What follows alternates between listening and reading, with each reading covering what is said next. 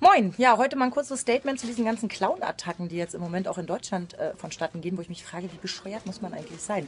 Erschrecken an sich finde ich total lustig, sage ich ganz ehrlich. Also so im Dunkeln mal Buh machen, habe ich jetzt persönlich kein Problem damit, aber wenn es dann so weit geht, dass Leute wirklich im Dunkeln richtig attackiert werden, ja, also wir reden hier von, von Baseballschlägern und was weiß ich nicht und dann diese Gruselmasken dazu, dann finde ich das überhaupt nicht mehr witzig. Und dann die Vorstellung, dass du irgendwie mit Kindern unterwegs bist und die wirklich richtig Angst haben. Also nicht nur sich erklären, okay, da steckt da einer unter der Maske. Ich stelle mir gerade vor, wie ich zwei Wochen versuche, denen irgendwie das Einschlafen wieder zu erleichtern. Nicht lustig.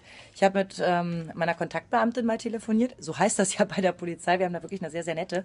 Und die sagt zu mir, wenn sowas passiert, auf jeden Fall die Polizei rufen. Die würden direkt vorbeikommen und gucken, ob sie denjenigen irgendwie noch antreffen, Personalien aufnehmen und so weiter.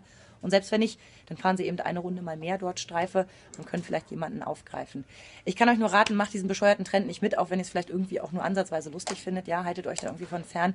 Und wenn euch sowas begegnet, sagt der Polizei Bescheid, damit wir das Thema dann auch hoffentlich bald ad acta legen können.